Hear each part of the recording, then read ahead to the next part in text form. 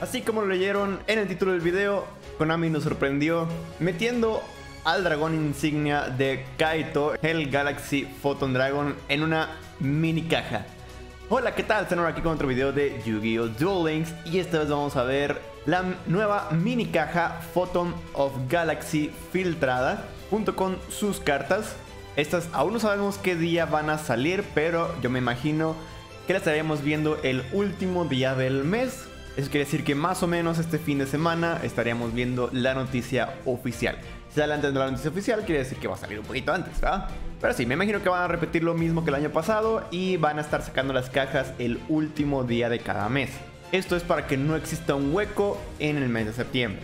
Y bueno, vamos a estar usando la página de Duelings Meta para ver todas las cartas, como siempre links en la descripción. Una disculpa que no haya buscado todas las cartas, pero es para hacerlo un poquito más rápido. La primera, carta insignia de la caja Galaxy Eyes Photon Dragon, la carta de Kaito. Puedes convocar esta carta de modo especial desde la mano, sacrificando dos monstruos con 2000 o más de ataque. Durante la Battle Phase, esta carta batalla con un monstruo del oponente, efecto rápido.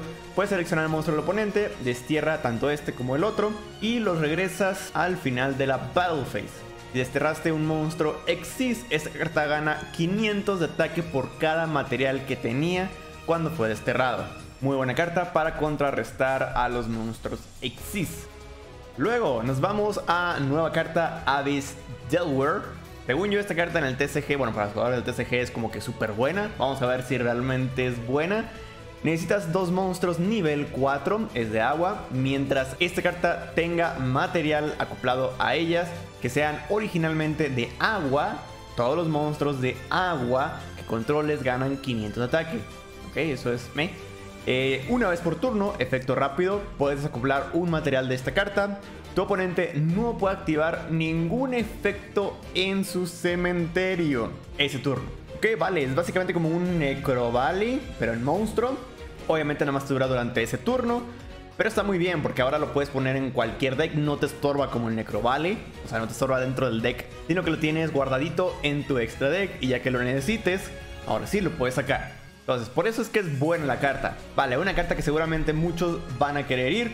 Luego tenemos la última UR, Photon Thrasher. No puede ser invocado de modo normal ni colocado, debe ser convocado de modo especial desde la mano mientras no controles monstruos. No puede atacar si controlas otro monstruo. Ok, vale, este es el iniciador de los Photon. Porque generalmente casi todos los Photon requieren tener a otro Photon para poderse invocar de modo especial. Entonces este es el primero que quieres tener para poder invocar a todos los demás. Mientras haya una forma de buscarlo está bien. Vamos a irnos directo a los demás Photon SRs. Photon Blizzard puede sacrificar esta carta, añade un monstruo de nivel 4 o menor Photon desde tu deck a tu mano Solamente puede usar este efecto una vez por turno. Ok, este es nuestro buscador. Este va a ser esencial.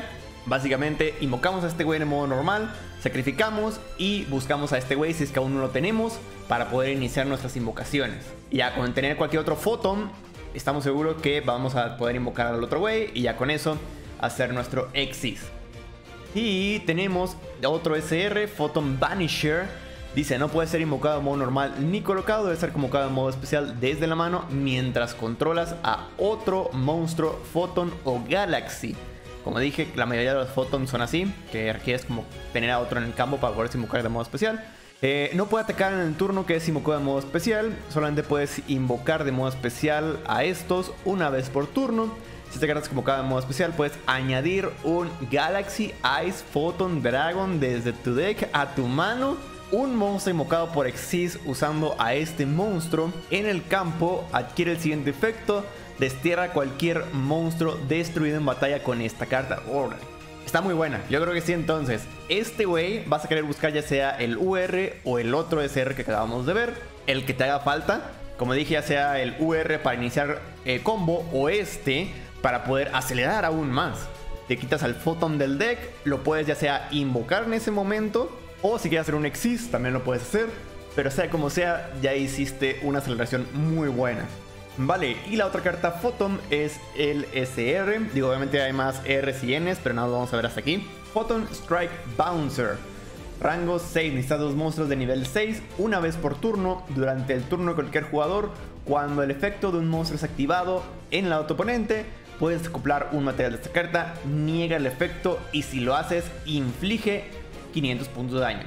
Yep, ya chequé que la carta sí será nada más 500. En el juego sí nada más va a ser 500. Si quieren checar todas las cartas, eh, lo que dicen en español, aunque se vean muy chiquitas, en la descripción encontrarán eh, mi carpeta de Drive donde vienen todas las cartas en español precisamente. Por si tienen alguna duda de qué es lo que hacen o si realmente hacen ese tipo de daño, en la descripción dice Drive.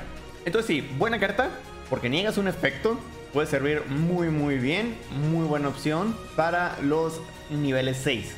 Luego tenemos Ghost Trick Alucard, rango 3. Necesitas dos monstruos de nivel 3. Tu oponente no puede seleccionar monstruos boca arriba, Ghost Trick o ningún monstruo boca abajo en posición de defensa eh, para ataques, excepto a este.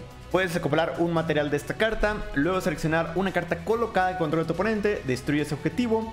Solamente puedes usar cada efecto una vez por turno. Si esta carta es enviada al cementerio, puedes seleccionar otra carta Ghost Trick en tu cementerio y añadirla a tu mano.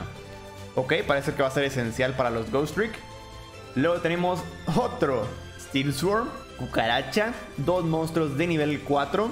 Durante el turno de cualquier jugador, cuando un monstruo de nivel 5 o mayor es convocado de manera especial, Puedes acoplar un material de esta carta, niega la invocación y si lo haces, destruyelo. Uh, buena carta para contrarrestar varios decks.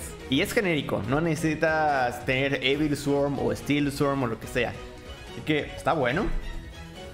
Luego tenemos número 70, Malevolent Sin. Dos monstruos de nivel 4, unidades por turno, puedes acoplar un material de esta carta. Luego seleccionar un monstruo que controla tu oponente, destiérralo hasta la siguiente standby phase del oponente. Al final del damage step, si esta carta ataca, puedes hacer que esta carta gane 300 de ataque y si lo haces, incrementa su rango en 3. Mmm, eso está interesante.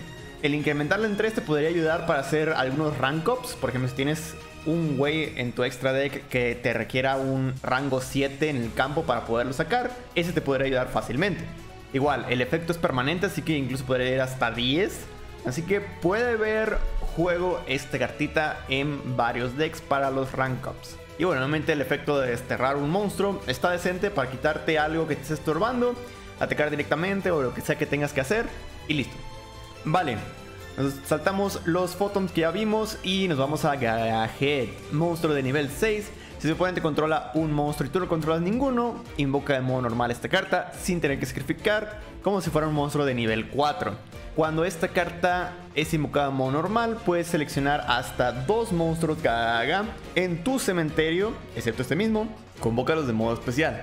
También no puedes convocar de modo especial monstruos por el resto del turno, excepto por una invocación Exis que use solamente monstruos Gaga como materiales un monstruo existe convocado usando esta carta en el campo gana el siguiente efecto. Para es invocado en modo especial, roba una carta. Ok, vale, está decente. Es como tu ciberdragón. Vale, siguiente carta. Esta ya la habíamos visto antes. Una disculpa porque no se vea mucho. Pero bueno, créanme el efecto.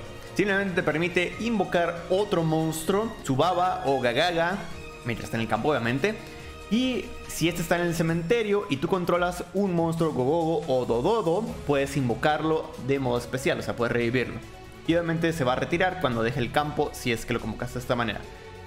Luego tenemos Unidos Venceremos, la última carta de la Selection Box Mini.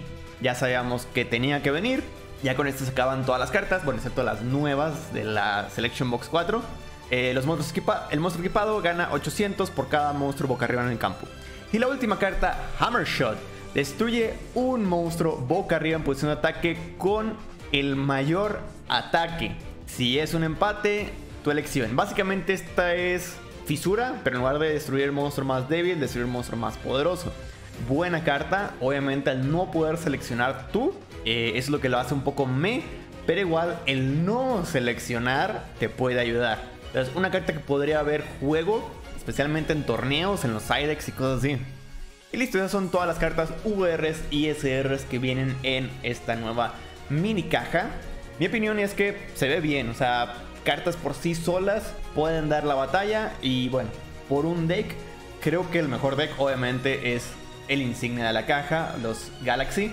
Pero aquí es donde quiero que ustedes me digan en los comentarios cuál creen que va a ser el mejor deck de esta nueva mini caja o qué cartas creen que vayamos a ver más en el competitivo. Por en parte, eso era todo. Muchísimas gracias por ver este video. Recuerden dejarle like si les gustó. También no olviden suscribirse al canal si no han hecho para no perderse de más videos de Yu-Gi-Oh! Duel Links y más filtraciones que se vienen en unas horas. Nos vemos en la próxima. Bye bye.